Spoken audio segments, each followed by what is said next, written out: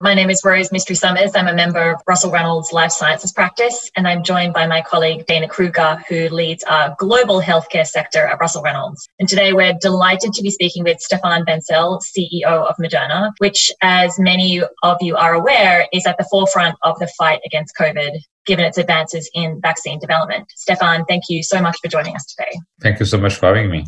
So, just in terms of setting the scene a little, given Moderna's prominent role in helping resolve the COVID crisis, we'd love to hear a little bit about the journey for you and your team in recent months. Tell us a little bit about what it's been like. So, it has been totally surreal, as you can appreciate. I think first, getting to a place where we got very worried about the virus. So, you know, like everybody else, you know, we heard, you know, late December, early January, that there was this new infectious agents. We didn't even know it was a bacteria or a virus at the beginning. Uh, and then we, we got to know it was a virus. We got to know it was a coronavirus.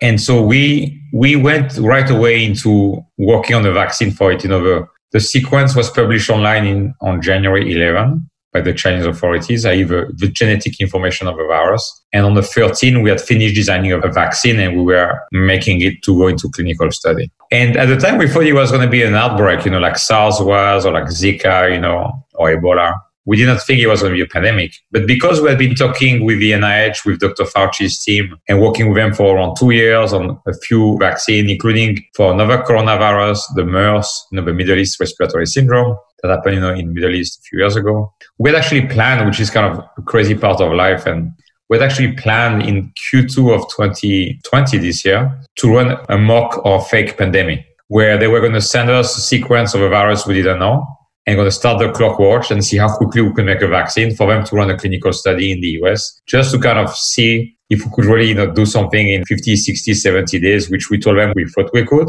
which we thought was science fiction. Just to give you a sense, for the SARS virus, it took Dr. Fauci's team 20 months to go from the sequence of a SARS virus to starting a clinical trial. And we were telling them last fall, we thought we could do it, you know, in maybe two months. Uh, we ended up doing it in 63 days, which is two months. So at the beginning, we're just kind of running against this thing. And then there's a week that really changed how I thought about the whole situation was the week of Davos at the end of January, you know, a few weeks after JP Morgan conference. I had the chance to be very close to two epidemiologists, infectious disease experts that run two very large organizations that were in Davos. And I had the chance to talk to them several times per day. And sometimes they will share with me you know, on their phone data about data they were getting emails from coming from China.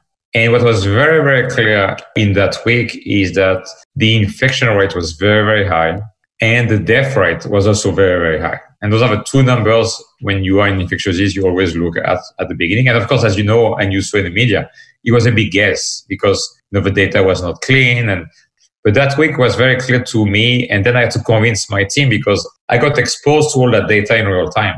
And then I was in, in Switzerland and my team was back in Boston.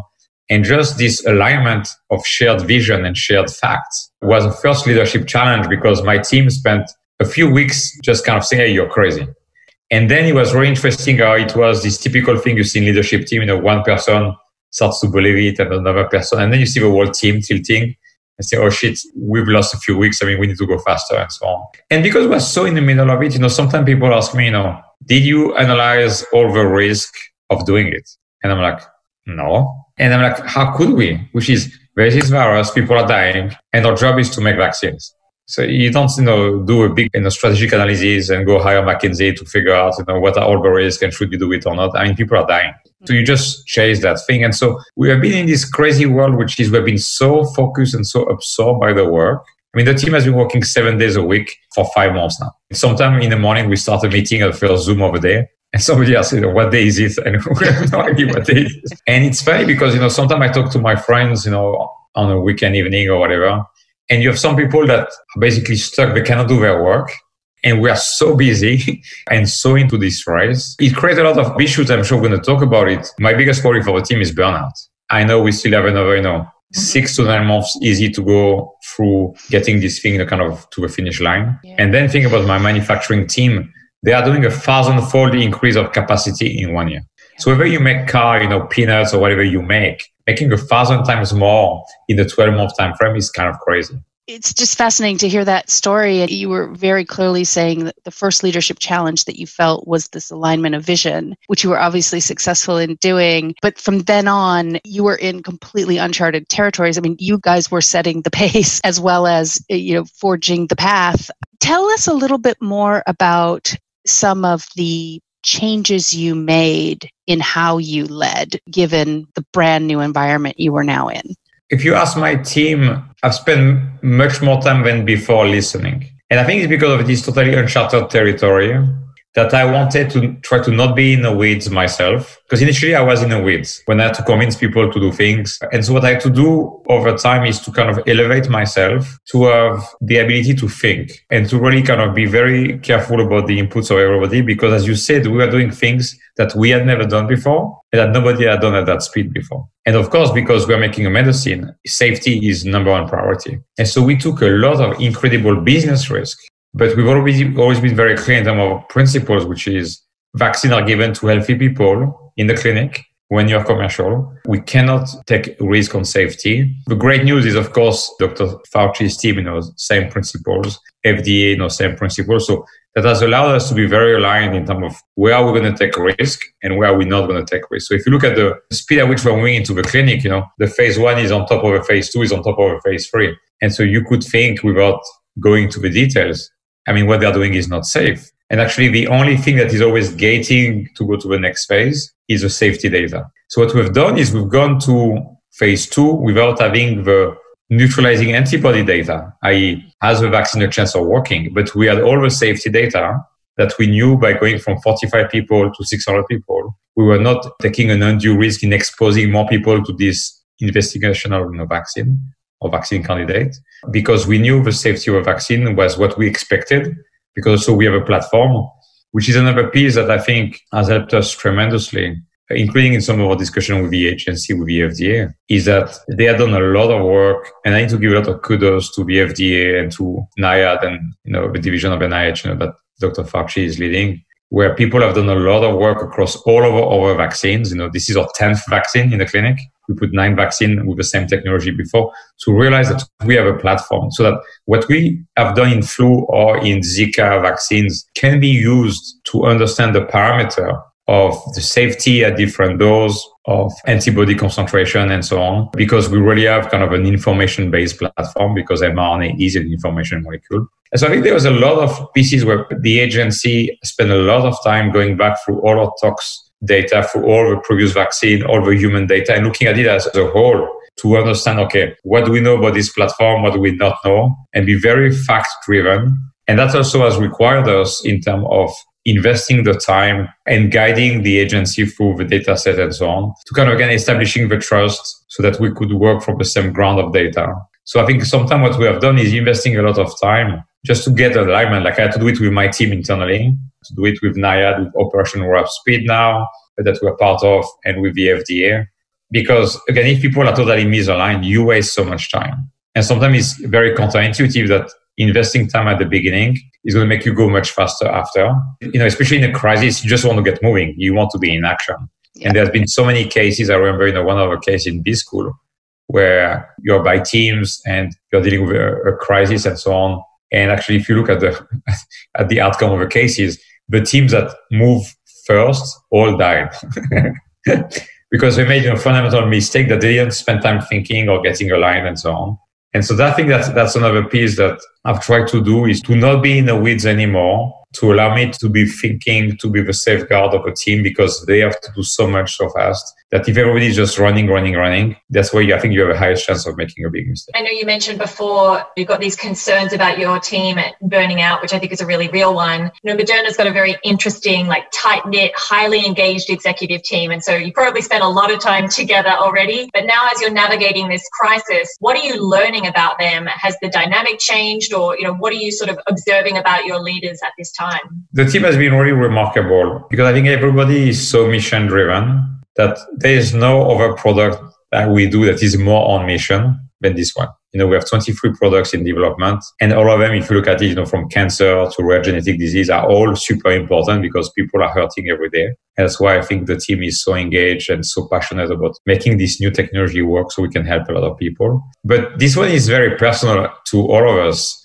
And so the team has been incredibly engaged. I think the team has, and I put myself in the team, has really struggled in this kind of Zoom world because you know people are not two dimensional and when you have a large group of people even just to look at the body language of everybody is much harder when they're in a tiny bit on the screen and i think the informal discussions part i think of what the team has done to climb many mountains since we started the company is a camaraderie and a trust that everybody I think on this team feels super comfortable going at somebody else, hey, I don't know this, I need help. I'm not sure about this one. What do you think? And this informality is super easy when you are, you know, two offices away from somebody, or sometimes, you know, you walk and you go get a coffee and you see somebody and you think, I say, oh, I'm going to go ask Tracy what she thinks. And in this world where you don't know if you're bothering somebody, they're on a Zoom with 25 other people and so on, the informality that I think is important when you got very high speed or when there's a lot of ambiguity and a lot of uncertainty. There's incredible uncertainty in what we're doing. Uh, what we're doing has never been done before by us at this speed and I don't think by anybody else in the world at this speed. And so there's a lot of things that we have to invent. And I think this type of tool living in the Zoom world is good to kind of, you know, do checks and be very task driven. But I think the process of creating or inventing is very hard. Where sometimes you need a kind of whiteboard and, you know, I go write something or draw something and somebody takes my pen and just build on it. That creative process. And I don't know because I've not had the time to talk to people that are more in a creative process, like, you know, ad agency or people that, where it's really what they do to see how they're living the Zoom experience. Because I think running things you can do very well in that setup. I just don't know how people in the creative world are doing right now in terms of this kind of isolation. The piece I've observed is, as you know, many of us are introverts, many of us are extroverts.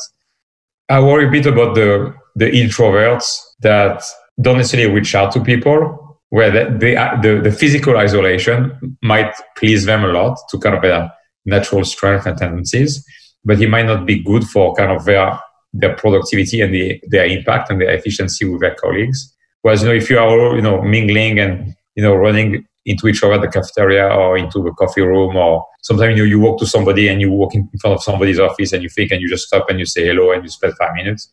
That is what i'm missing the most personally. The informality to check on people. I, almost now i know how to do a checklist. It's okay now call Marcello because I don't have a, the natural informal discussions. So put yourself, I guess, in the present, but in the future that looks a lot like our present. If we all really take a step back, I think most of us believe that our world has changed, at least for the medium term, in a very material way in terms of how we move around and interact and get stuff done. And it sounds like you're having a conversation with yourself uh, around, you know, how do I make sure that innovativeness is preserved? So you may not yet have the answer, but the question I want to ask you is what, if any, key leadership skills are you thinking about? really trying to develop in your organization for the future that we all believe that we're entering? And are those different than maybe even six months ago? What I like to always think about is how do you get the best out of people? And it goes back for me to some you know, basic things, which is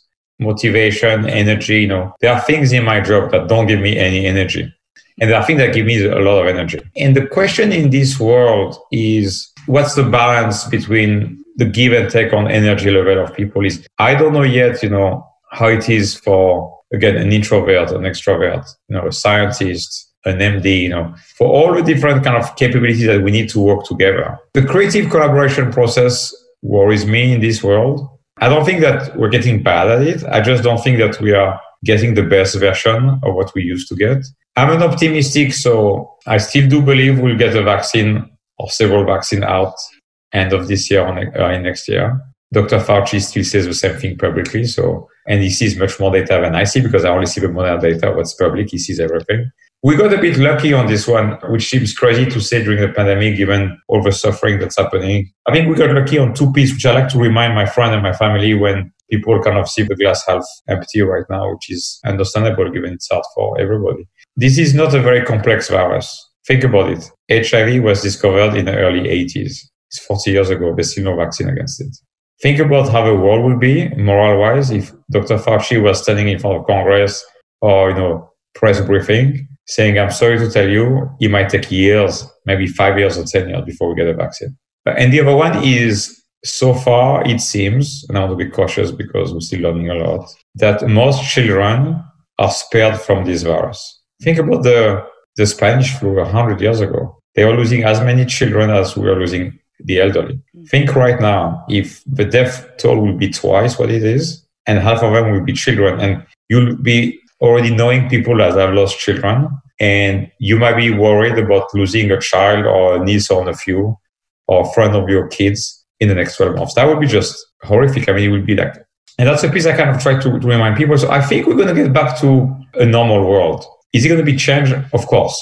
So I think, yeah, because I think through vaccination, you know, the day you have vaccines out and enough people are vaccinated, we wanted to wear a mask when you go to a close place to be safe or to feel safe. I see that future that you're painting. I think we've also learned a lot in this period about how we do business, all the innovations that you've come up with in terms of speed to yes. develop these new vaccines, etc. So, what have we learned about our ways of working that might change our operating model or even our business models going forward? And what does that mean for leadership? I agree with you 100%. A lot of things are going to change, even though when we go back to a normal life from a, a health and a safety standpoint. The piece that I'm not clear yet, and Tracy, our head of HR, and I you know, spend a lot of time talking about it.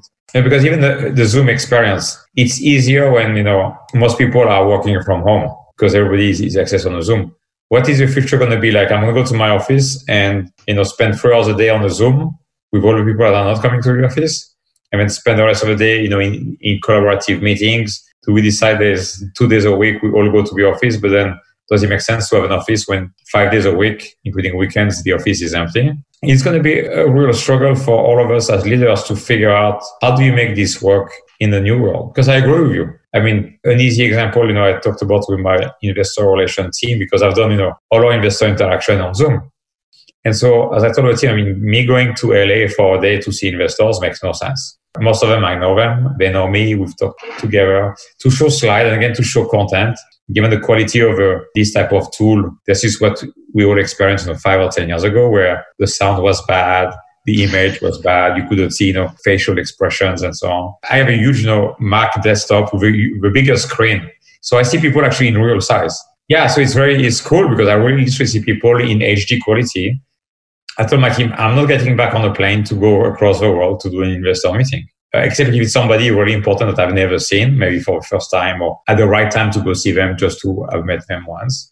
But somebody I've known for years, why would I waste my time? Why would I spend the money? Why would I have a bad impact on the environment? Why do I get myself jet lag? It's going to get me less performing and more tired. You know, not good for my health because I know my immune system gets weaker every time I get on jet lag and my immune system is supposed to fight viruses and cancer. So I think there's a lot of things that are going to change. The piece that is not clear yet to me is how do we set rules and kind of principles on how do you not become only a Zoom culture where literally you say, okay, no more offices, everybody's in Zoom all 24 7, and you can live anywhere you want and so on and so forth. But you still have the innovation, the creativity process that, as we talked about a few minutes ago, is really hard to do with this medium. But I don't know how to do it if I only have half a team in the room and the other half is on Zoom. So I think that some things like this we're going to have to figure out is what do we do on Zoom and we allow people to do on Zoom? What do we set as a norm that not those things have to be in the office? But then how do you make it financially viable? This industry makes you know, good margin, but think about industries where there's no margin. I've talked to a few people, for example, in the asset management business, and they said that they are contemplating giving up all their offices so, so I think we're going to learn a lot. And like every time, you know, humans try new things, they're going to be things that are going to be working and sticking and things that people are going to realize don't work and going to be adjusted.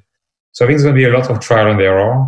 And I think it's going to really depend a lot on who in the workforce is impacted. And I can see, you know, having potentially different norms between, you know, somebody who is more kind of, let's say, you know, in finance, in let's say P2P, you know, dealing with invoices all day and they can do that from home with the right technology at their home and so on from anywhere. And somebody who's part of a cross-functional team where you need an engineer and a scientist and a clinician and they need to kind of thread the needle and you might so then do you go back to a, a place where you know renting rooms uh, in a more virtual is maybe how you I, I don't know. We have to figure all those things out But now we're focusing more on how do we get the vaccine to a finish line.